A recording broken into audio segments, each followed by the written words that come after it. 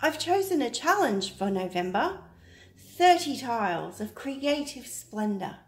Sparkles, swipes, swirls or string help to create the most beautiful things.